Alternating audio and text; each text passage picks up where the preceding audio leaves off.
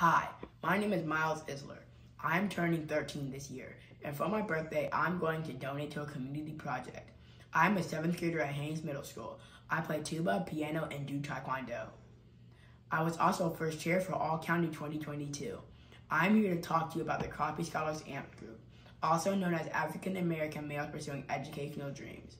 I'm a member of this group. This is a group that has projects with African American males. They have events where you can learn from professionals and learn things that you will use later on in life. One of the events I have been to was a job fair, where professionals came out and told you all about their fields of work. Another event I went to was a house building event, where we went out into communities and helped build houses. The AAMPED group also gives out scholarships to participants who complete the course. This group is important to me because statistics show that in 2020, only 12.5% of African American males went to college. This program is changing that by preparing African American males for college.